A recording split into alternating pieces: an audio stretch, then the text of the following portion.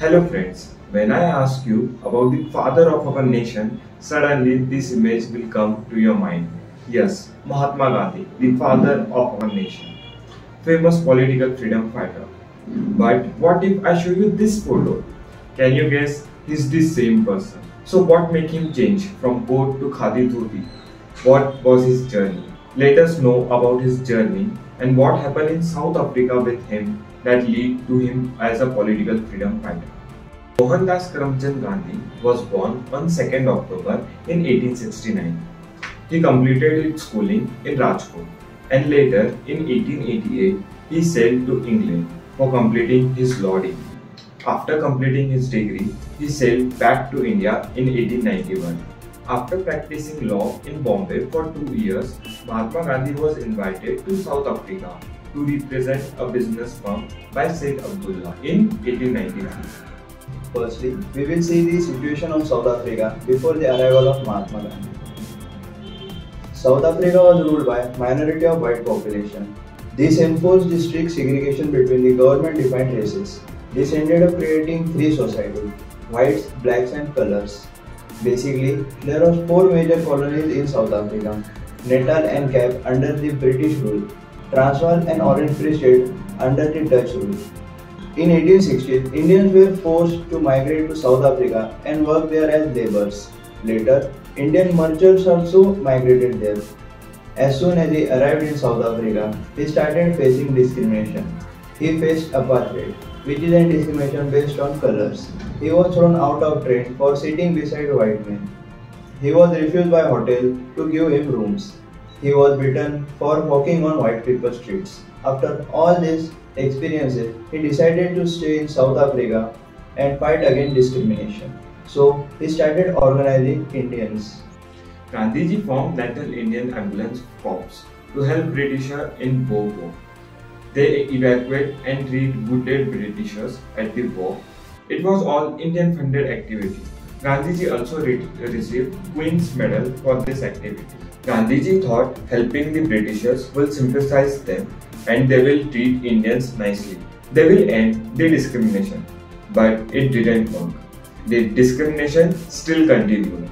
To unite Indians and to fight against discrimination, Gandhiji formed National Indian Congress. He also started a newspaper, Indian Opinion, and created a settlement named Phoenix Settlement in Durban in 1903.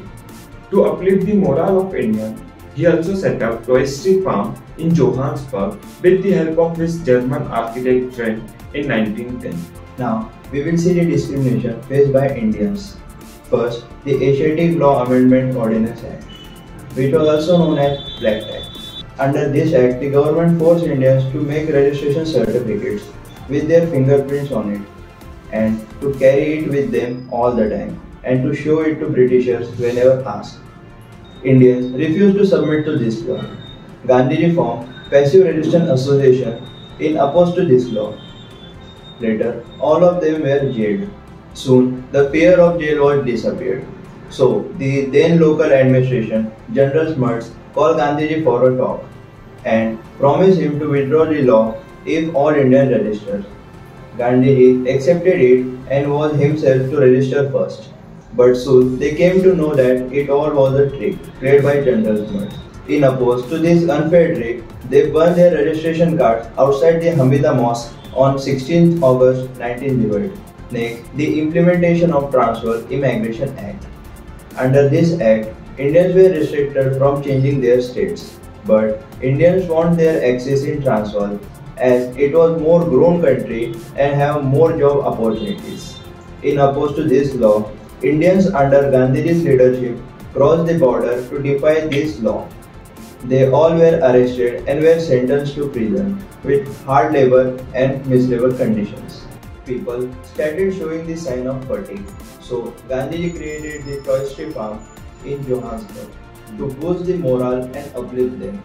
In 1910, Gandhiji became famous enough in India. During this time, he came in contact with Indian National Congress and Muslim League. In 1910, the coronation of King George V took place, for which Gopal Krishna Gokhale was invited as state guest.